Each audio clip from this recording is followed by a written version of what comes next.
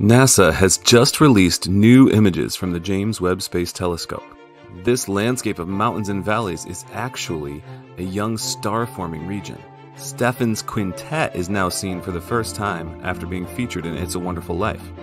These are crisp pictures of the Southern Ring Nebula, even though it's 2,500 light years away. And water has been found on a planet, even including clouds. We can also now see the sharpest infrared image of the distant universe to date. Hey, subscribe to my channel and check out my video that goes much more in depth on all of these things. You can click